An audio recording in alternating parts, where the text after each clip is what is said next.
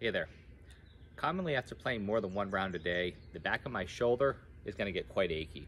Now here's something that I can personally do to relieve a little shoulder discomfort during my rounds, especially if I'm playing more than one round a day.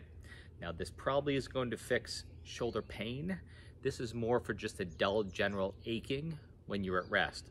So on my second round, I can sit there after about third or fourth hole and just notice a generalized achiness in the back of my shoulder when I'm standing there this is something that usually helps me quite a bit.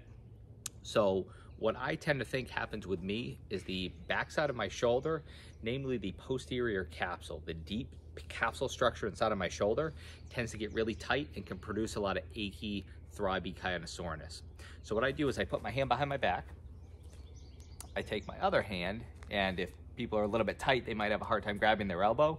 So sometimes you can swing around to grab that elbow and I'm just gonna slowly pull elbow in front of my body. So this is gonna give me, it's basically a, a, a, popular stretch in the physical therapy world. It's called a sleeper stretch. You lay on your side and you push your arm down to stretch the posterior capsule, or you pull the arm across your body, where a lot of people tend to do this wrong to stretch out the posterior capsule. This is just a different variation of how to do a posterior capsule stretch. Here, grab elbow, and I'm gently pulling forward while keeping my chest nice and puffed up.